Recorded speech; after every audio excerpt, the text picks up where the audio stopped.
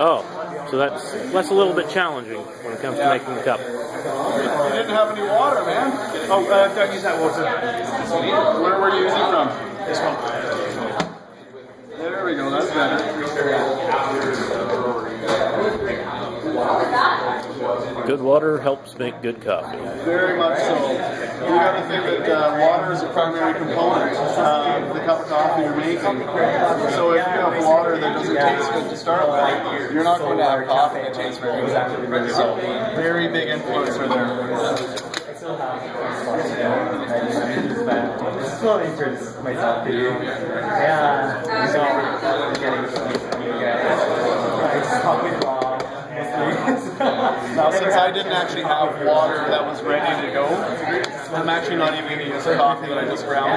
Um, coffee has so many uh, volatile aromatics that as soon as you grind, it's right away, it's releasing a lot of flavor that you could capture if you brew it right away. So I'm actually just going to discard that.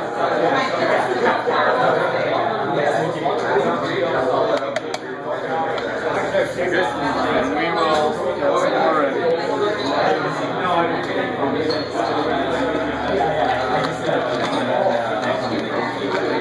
Now, do you work for one of the coffee shops, or do you work with one of the coffee suppliers? Uh, I work for uh, Other Brother Roasters. I'm the, ro- the roaster for them. So. Okay. But I do a lot of brewing at home. Oh yeah. Lots of brewing. And if you're going to work for a roaster, pays to know what you're doing as Oh well. yeah. Definitely. Uh, ready?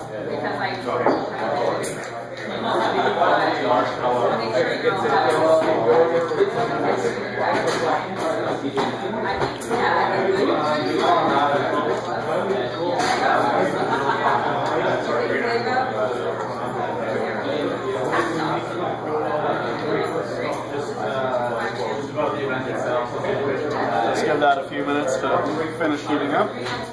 So let's talk about what we're, uh, what we're tasting.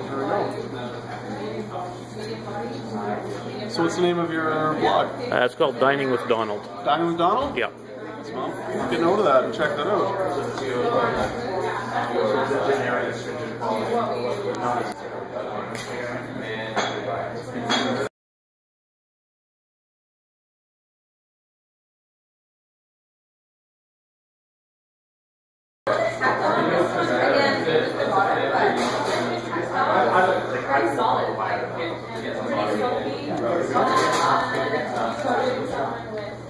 Variety of different extraction methods shown here.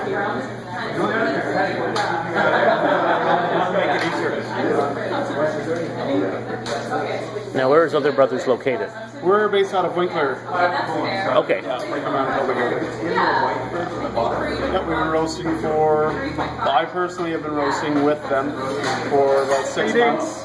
Um, they've been, OBR in general, I think it's about two years that we've been, we've been going. So it's been nice. It's been good to watch the coffee scene in Manitoba really, really start to explode in the past couple of years. And a lot of growth. Lots of people discovering that you know coffee can be a lot better than you know the standard supermarket Yes. uh, Yeah. stuff that's available. So, yeah. do you have any questions? Uh, one question, like the you've got a copper Yep. well, it's uh, it has a copper finish. finish. Okay. It's actually it's actually stainless steel. Mm-hmm. So stainless steel is, is great for brewing. It doesn't uh, doesn't tend to impart any flavors while you're brewing. And then uh, you know the copper on the outside is because it looks pretty. It looks pretty. So it doesn't uh, does it affect the heating of it at all, or Uh, not with, with this particularly. Um, copper isn't copper isn't necessarily the, the greatest material for for brewing with because it one it absorbs heat energy very quickly, and then on the other it also disperses that heat energy very quickly, so you can cool off your water. Um, and when you're looking at things like uh, know the Bonavita kettle. This is what I use at home. You, Okay. It's a variable temperature kettle, so you can you can set the brewing parameters uh, based on the coffee you're using. Some coffees respond well to one temperature, whereas uh, different coffee might might be better off brewed even as much, little as two degrees less or more. Makes has a large impact. So the the big goal is temperature stability in your brewing, and that's going to give you a, a lot more consistency in the cup.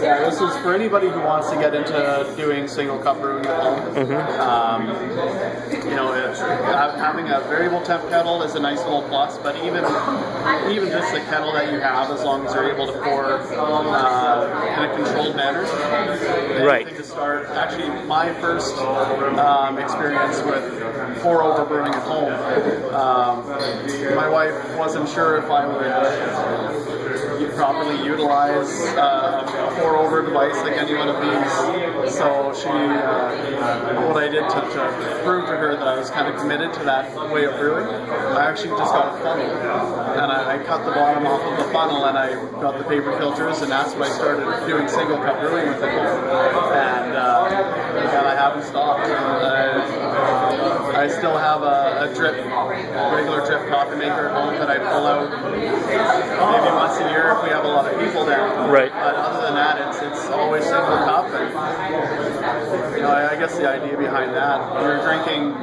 less coffee, but you're drinking better coffee. It's sort of my mentality. Yeah, no, that makes, and probably for most people, less coffee is actually better as well. Probably a little less shaky. You might have better uh, better writing skills wasn't shaking so much. It's almost there. So what I'm going to do is once the uh, my water is up to temperature, I'll rinse my filter. The, there's two reasons you want to do that. One is you're going to uh, rinse any papery taste from the filter away, and second, you're going to preheat the what you're brewing so you're going to get more of that temperature. Right. I find that the preheating the brewing device is a little more important for heavier brewers. Like there's this is the same brewer. uh, Right. So this is a ceramic model, whereas this is a stainless steel model. The ceramics. Well, what? See if I can maybe. Uh, the. Uh, I just for myself, I prefer uh, a ceramic over a metal or a glass over a metal, just because once you heat it up, you do have a lot more heat retention. Right. So, Yeah. but there's lots of different materials, kind of based on preference. All right.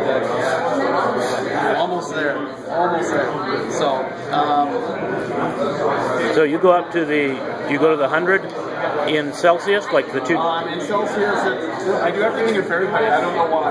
Um, Because I'm, ju- I'm just comparing, because, it's, it's going to be about 98 degrees Celsius. okay, Yeah, in Fahrenheit, we uh, this one it's going to be set to 204 degrees Fahrenheit. Okay. So, because the, the earlier coffee I tried was set on 96 oh, okay. for the Yeah. thing, so. Yeah, so I think that's. And that was, that was for this Chemex over here. Oh, okay. Awesome. We are ready to go here. So now I'm going to grind. And while that's grinding, I'll give a quick pre-rinse.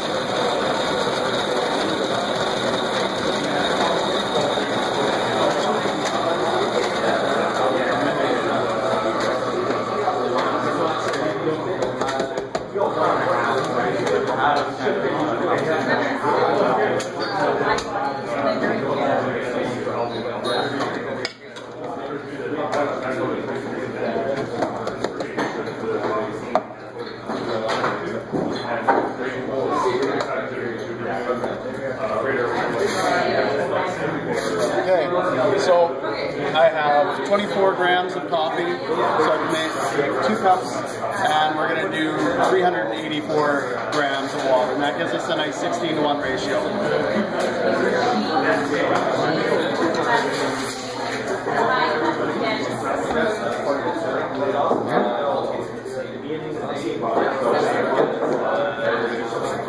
I always use a timer, either on my phone or some scales they have a timer built in. Right. I think this one actually has the timer built in. Yeah, this one does. I don't have the Bonavita at home, so I'm not going to fuss around with that. I'm just going to use what I know. So we're going to do a. We're going to saturate the grounds initially with about 40 to 50 grams of water. And we're going to let that go for about 30 seconds. And that gives us a, a degassing period. Uh, a lot of people call it bloom because, right. as you can see here, the coffee actually has puffed up. That's because there's a large dispersion of CO2 from the roasting process that's still in the coffee. Um, you want to get rid of that CO2 because sometimes it can add a bit of a metallic taste to the coffee, and it's obviously not something we want. We want it sweet sweet, you want it don't want that. So, we got 30 seconds here. So, now I'm going to add some more water.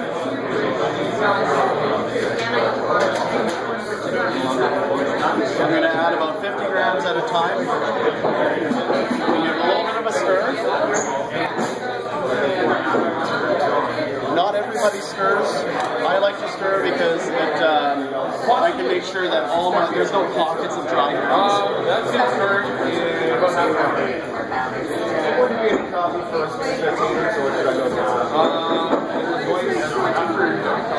and you want to do it in nice, very controlled circular motions um, if you pour too fast, you have water that will shoot through all the grounds to the bottom of the filter. Right. And it will just come out before it's had time to uh, you know, really saturate with uh, his coffee.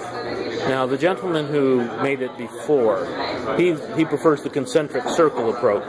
Yeah, yeah, just kind of working from the inside out, back to the inside. I do very much the same. Um, one thing I do that's a little bit different is I like to come back around the very outside of the bed of grounds um, because there's always a bit of a wall of coffee that's hung up, and I want to make sure everything's saturated at the same time. Right. And then I work to the middle to get everything worked in.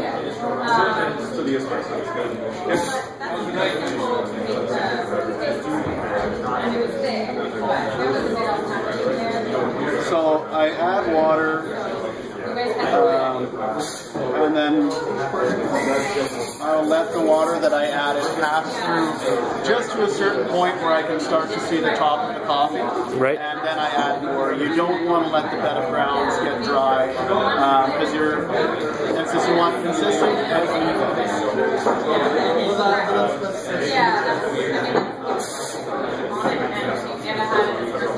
And that way you're always adding, you know, some fresh heat to make sure your temperature stays where you want it.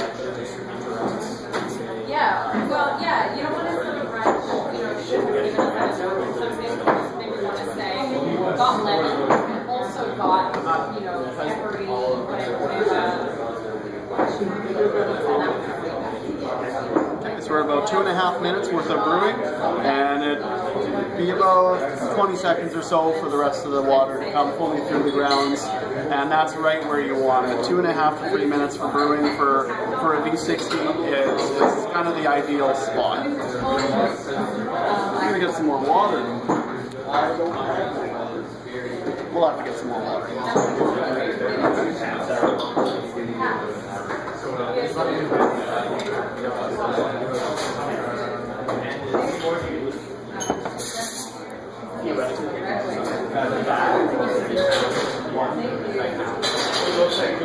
I always like to preheat my preheat my mugs.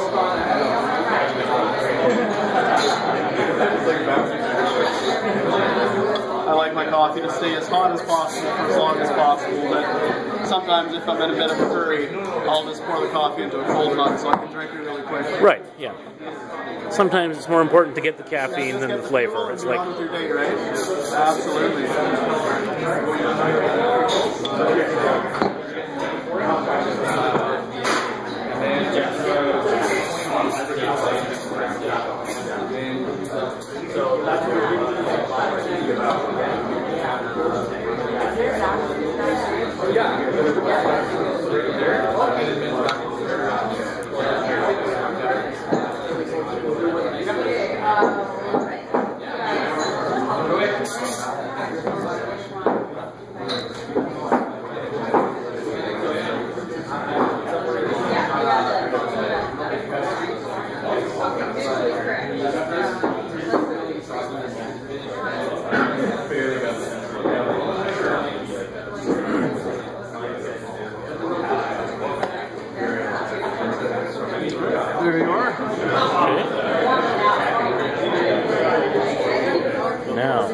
Tricky part.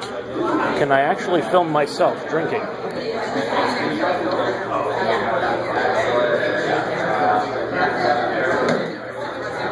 So how's that for you?